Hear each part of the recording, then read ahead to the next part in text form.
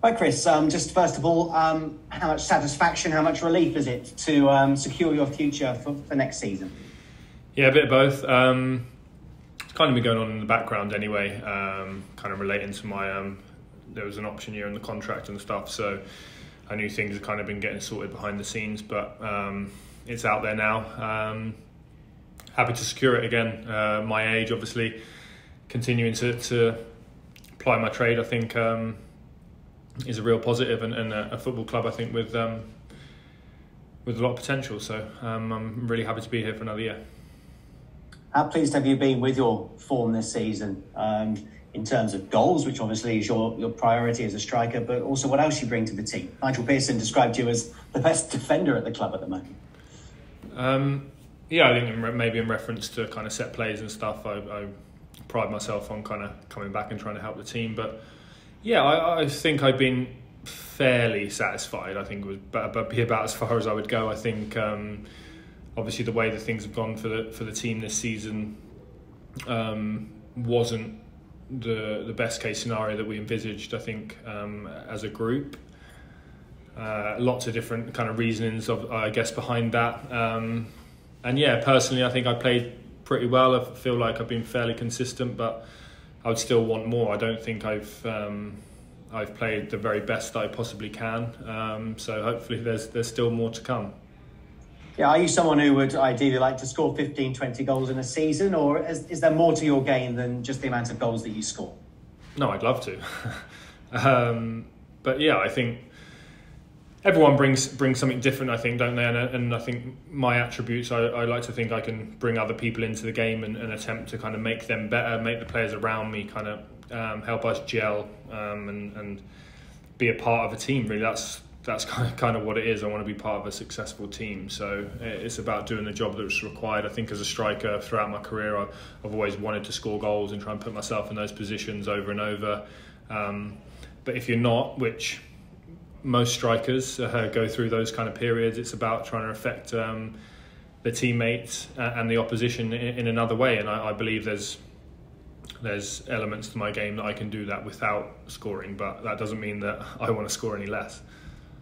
And you'll be 34 in, in November. Are you someone who looks to the future and think I can play to a certain age, or are you taking it cliched each season as it as it comes?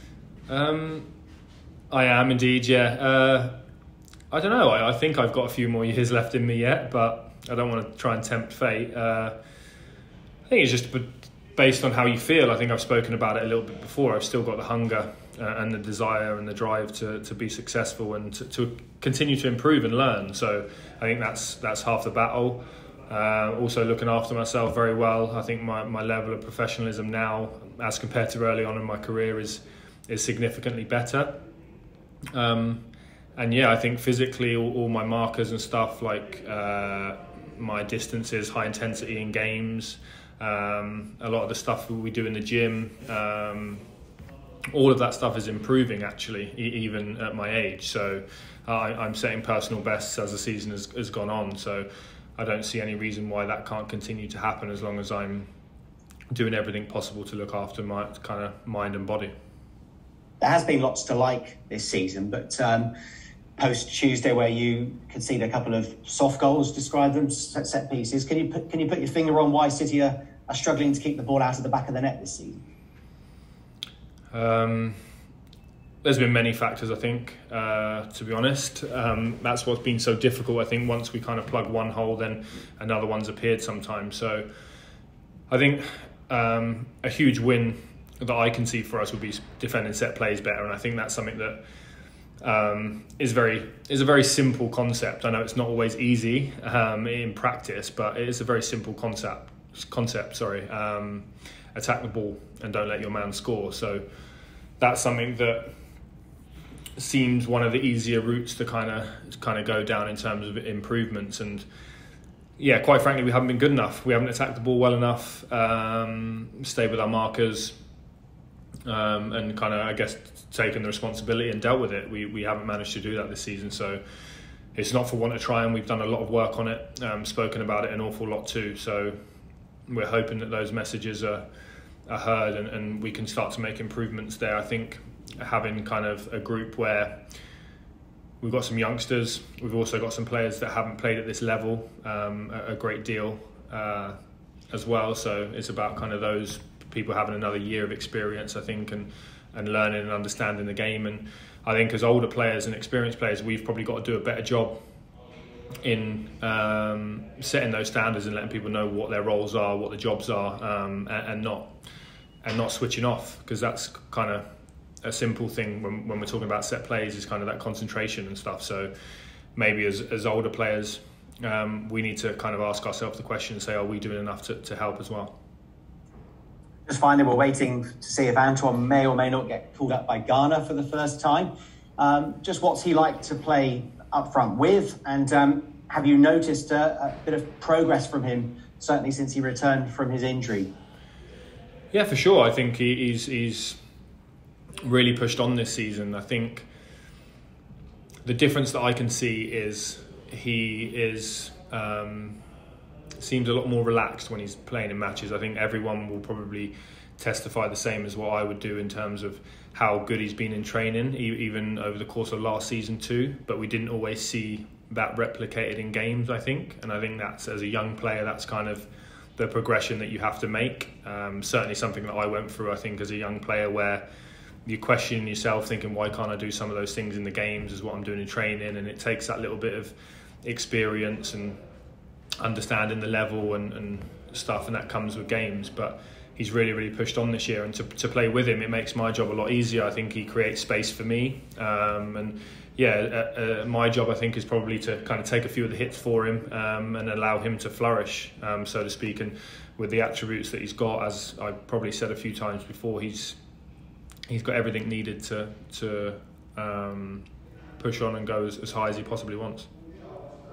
It was great you sticking around. Um, look forward to next season and many more games and goals from you, Chris. Thank you. Appreciate that. Thanks, Richard. Hi, Chris. Hiya.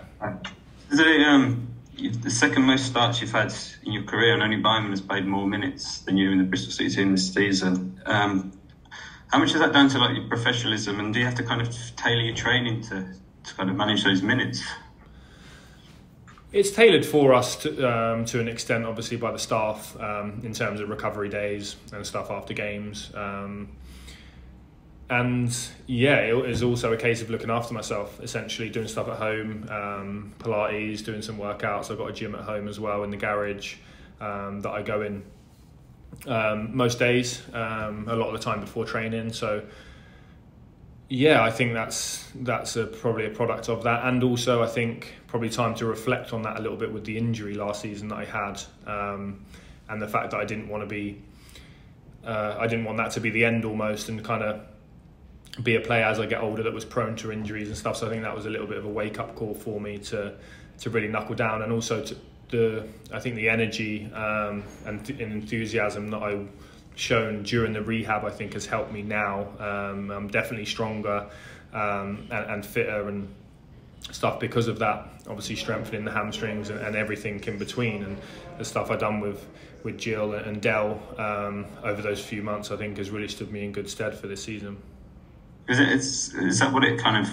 Sometimes you need a, a, a little setback in order to think ahead in the future and kind of you know get your get your body and your mind focused Exactly. Yeah, I, would already started to, to do that anyway. I think um, quite a bit of time before that, but I think that just kind of, like you said, it gives you a period of reflection. And I knew that any too many more of those kind of injuries, obviously, wouldn't be ideal, especially at my age and kind of the stage of the, my career that I'm at. So, um, as the old saying goes, the best ability is availability, I guess. So that's um, that's something I kind of prided myself on, I think, throughout my career anyway. But um, certainly as I'm kind of coming to the twilight, I guess um, that becomes ever more important, especially the recovery side of it, I think. And that's a case, like you said, of speaking to people maybe when um, we're not feeling too great after certain games and seeing if we can have a bit more of a rest or kind of tailor the training a little bit to to suit it. But to be honest, I'm out there. I'm out there most days that everyone else is. So I don't take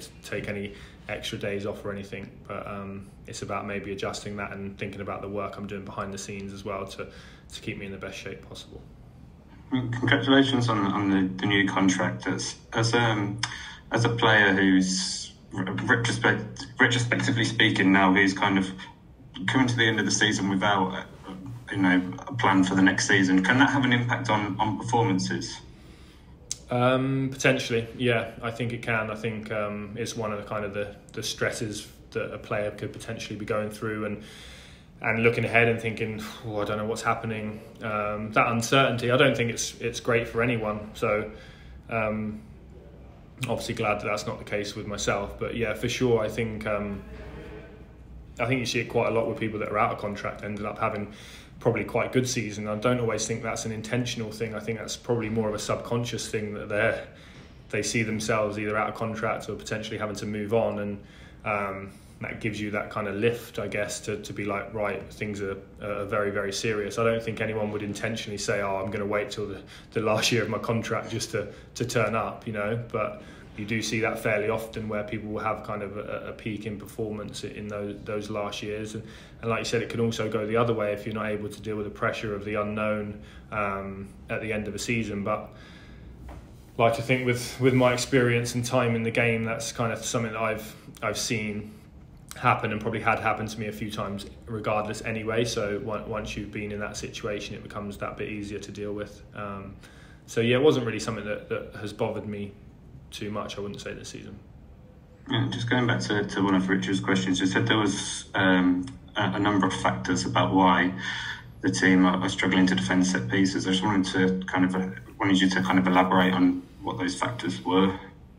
Um, not getting enough first contacts on the ball, I think, is a massive thing. Um,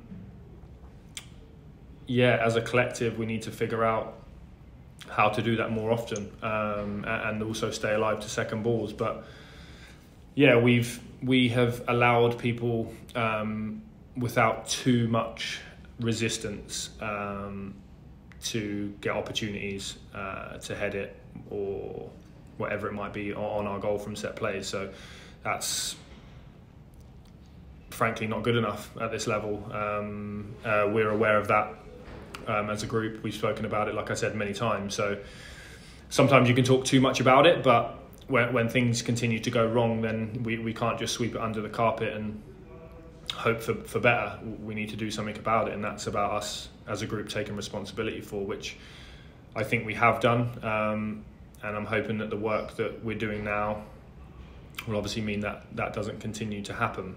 Uh, so yeah, as, as individuals and as a team, we need to really accept the responsibility um, and what it and, and understand what it takes and the, the desire to, to keep the ball out of the net. Quite frankly, it's um, something that we sh- all should have inside of us and, and taking that pride. I think sometimes people might think, oh well, it's only a set play or, or it's not that important. It's a huge part of the game, especially uh, in our division.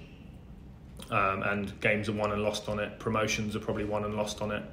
Um, relegations also. So is something that we need to be um, we need to be aware of um, and ensure that we're, we're maintaining our professionalism and concentration uh, when set plays come.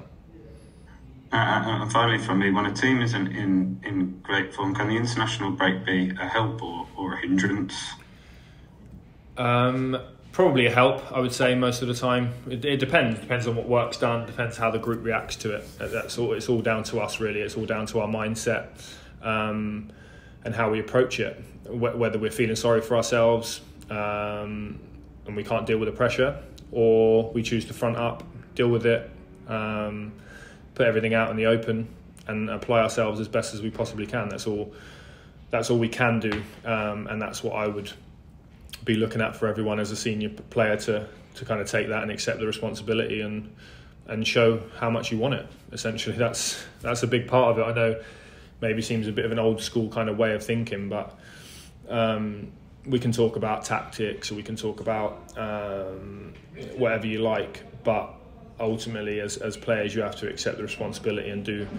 And it's about doing the basics. Have we got the desire to run to, to stop crosses? Have we got the desire to put our head on the ball? Have we got desire to tackle? Um, I think that's a huge part of it. I think when you're not in great form, it's easy to look for excuses, both as a player, as fans, as, as staff, everybody. Um, excuses aren't going to do us any good, to be perfectly honest with you. Um, So it's about trying to identify what we think we need to improve and, and doing the work, putting the work in. That's all we can do um, between now and the end of the season, and and try to um, try to build, I guess, a bit of a platform um, heading into next season. Thanks, Chris. Good luck Saturday. Appreciate that. Thank you. Hi, hi Chris. Um, one part of the formidable, atta- formidable attacking trio of yourself, um, Antoine and Andi. And we've seen Andi now go to right wing back. Um, how different is that in the team shape the team? Because obviously Andi has built up a good partnership with Antoine. It's, both of them share a good goals and assists ratio. Yeah, it's something we've had to adapt to. I think um, when we aren't getting the results as a team, then it's uh, it's quite obvious that things will probably change, whether it be shape, whether it be personnel. Um, the manager and the coaching staff are obviously trying to find a formula. I think to win us games more often than not, and we've obviously had a real terrible inconsistency this season, not being able to put two wins together. So I think that's probably part of the reason is trying to trying to find a way to do that. Um, we obviously managed to to perform fairly well against Blackburn. Um, we're, we're, very resolute, uh, and we got the win. So that's obviously why he was then selected, I guess, in the same position. But it does change things, but it, it doesn't mean that he can't be part of the attack. So I think you obviously seen that with the winning goal um, against Blackburn. He was in the box at the back back stick, and that's what he gives you. He gives you that energy and enthusiasm, um, and he's a great team player, Andi. So I think that's probably why you've seen him in that position because the manager knows that he can rely on him. The manager knows what he's going to get from him week in, week out, day in, day out, and and we know as players and we trust him. And I think that's that's probably a huge part of the reason why he might be asked to do something like that because of that um, that huge amount of trust. So yeah, I think he he's been fantastic this season. Um, not sure if he, he, he would enjoy playing as a right wing back or not. You'd have to ask him, but you would never see it um, in his kind of uh, in his mood or anything like that. He doesn't it doesn't really affect him, and, and we know we know what he brings. So wh- wherever it be, I think he can contribute positively to the team. And of course, with your new contract now, um, you've spoken about the experience of perhaps when time is running out on someone's contract, and there's still a few players out of contract, City, but also in the wider football landscape. What's your advice to people into trying to earn those contracts? Because situations differ for some people, but what ultimately what you need to do to earn a contract if you want to stay at a football club? Um, try not to think about it too much. Um, I think the. Uh, the only thing you can do is affect what what you do yourself. Essentially, that's the only that's, and and what you bring to the team, I guess. But ultimately, it probably comes down to looking at yourself and being um, as professional as possible, putting in all the work that you possibly can do, um, and hoping to bring your best to the game. That's there's not really much more you can control. I think the only way that contracts get sorted out is by doing the business on the pitch generally, um, unless you've got a huge amount of potential as a young player and you haven't yet played, then obviously that's that's the case. But even as a young player, you, you've shown the potential in games, um, whether that be in the under 15s, 16s, 18s, whatever, at whatever stage you like. So ultimately, your contract is a reward for the job that you've done on the pitch generally. Um, so concentrate on that.